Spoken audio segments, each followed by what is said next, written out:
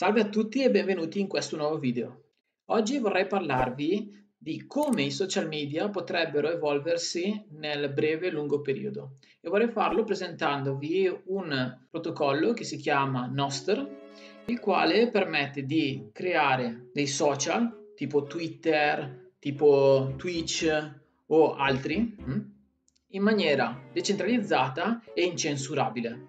Ok? Quindi siamo abituati finora ad avere i social media tipo Twitter e Facebook in maniera centralizzata, ossia c'è un'azienda che controlla il social media.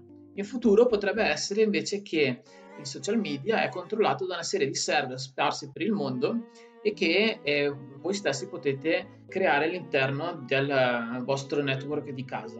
Quindi non esiste più un'azienda che controlla tutto ciò che viene fatto all'interno del social media, ma ci sono una serie di computer sparsi per il mondo che permettono di gestire i vari messaggi o contenuti che vengono creati dai creators stessi.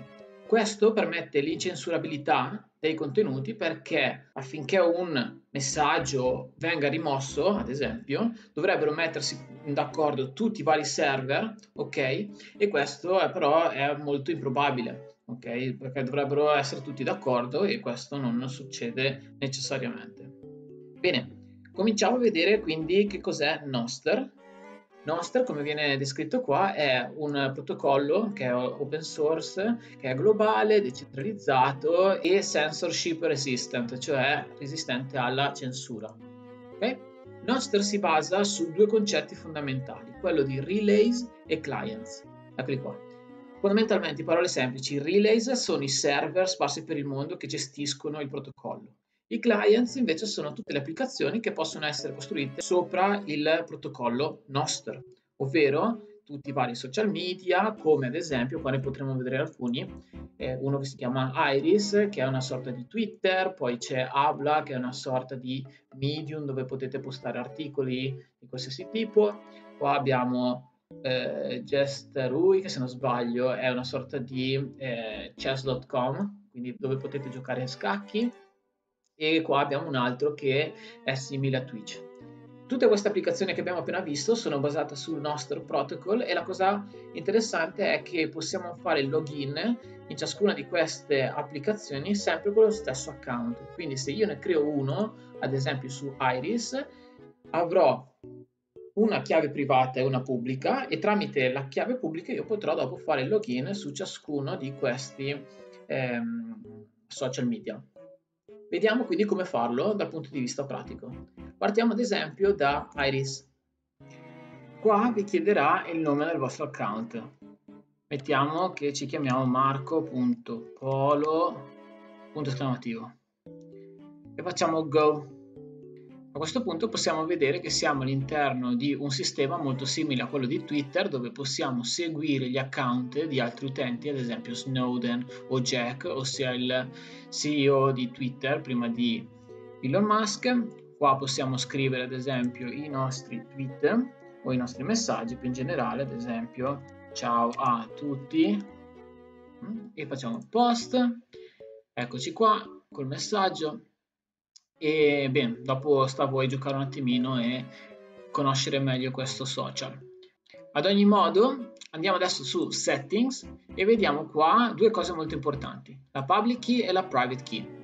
La Private Key è fondamentalmente la password che vi permetterà di fare l'accesso al vostro account di Noster e non dovete condividerla con nessuno questa chiave privata.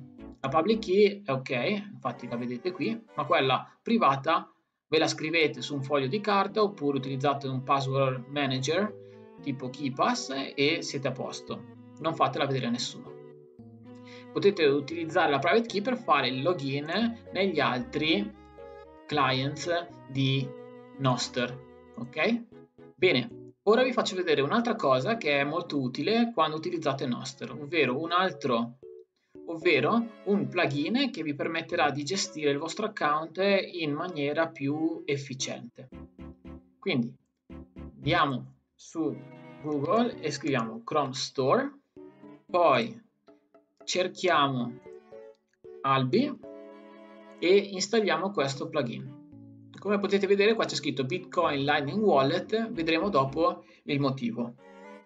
Ora, una volta installata l'estensione vi verrà chiesto di creare una password. Createla e salvatevela da qualche parte perché se la perdete siete fregati. Quindi scriviamo eh, la nostra password okay, e clicchiamo su Next.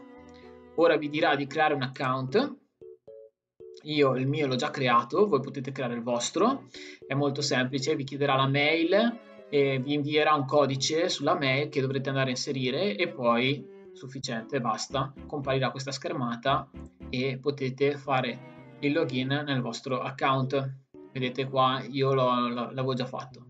Bene, una volta che siete giunti su questa schermata, cliccate su Noster e dovrete importare la vostra chiave privata qua dentro. Quindi cliccate su Import a Noster account, Use Noster Private Key, la copiamo da qui, copy, la piazziamo qua dentro e bon, vediamo che qua la, la chiave pubblica viene automaticamente generata. A questo punto salviamo e vedremo che il nostro account adesso ha la chiave privata e la chiave pubblica salvate all'interno del plugin di Albi. Molto bene, proviamo a testarla e vedere se funziona. Quindi torniamo qua, facciamo logout, ok? E ora clicchiamo su Noster Extension Login.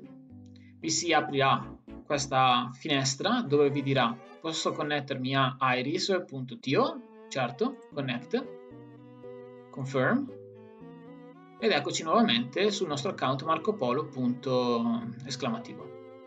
Una cosa molto interessante di Noster è il concetto di zapping, ossia di dare delle mance sotto forma di bitcoin ai vari utenti nel caso in cui vi piacciono i loro contenuti. Quindi se io vado su follows apro il menu a tendine, seleziono Global, vedo che alcuni utenti hanno questo simbolo a forma di fulmine. E qui potrò selezionare quanti Satoshi, okay, che è una unità di misura di Bitcoin, posso inviargli come reward, come mancia. Posso fare 1000, 5000 e così via. Per fare ciò ovviamente dovete avere dei Satoshi nel vostro wallet e il wallet corrisponde esattamente a albi. Infatti se noi andiamo a vedere qui, nel mio caso io ho 42 satoshi, quindi praticamente niente, però posso permettermi di mandare e ricevere satoshi ad altri account. Per abilitare questa funzionalità è sufficiente andare sul vostro account, cliccare su Edit e qua vi chiederà Bitcoin Lightning Address. Dove lo troviamo? Beh, è abbastanza semplice. Andiamo qui sulla estensione di Albi e andiamo su Wallet. Poi facciamo Receive e qua c'è scritto Copy Lightning Address. Copiamolo e piazziamolo sul nostro account. A questo punto ci chiederà se vogliamo fare questa operazione salviamo e dovrebbe comparirvi il simbolino del fulmine per poter ricevere e inviare Satoshi. Nel mio caso, vabbè, non è necessario perché io ho già il mio account questo uno di prova e nient'altro. Benissimo, siamo giunti alla fine di questo tutorial, spero che sia stato chiaro, se avete domande scrivetele nei commenti, ovviamente tutta questa storia di Noster, dei social media decentralizzati è molto nuova e i vari clients hanno un sacco di bug, a volte sono lenti, quindi siamo ancora in una fase embrionale e sperimentale. Comunque il mio consiglio è di eh, giocare con questi strumenti e imparare ad usarli perché hanno molta potenzialità e non si sa mai che in un futuro possono essere anche un'occasione per avere dei benefici economici con tutta questa storia del, di Bitcoin e del Lightning Network. Quindi vi ringrazio per l'attenzione, nella descrizione del video trovate tutti i modi per supportare questo canale e ci vediamo al prossimo video. Ciao a tutti!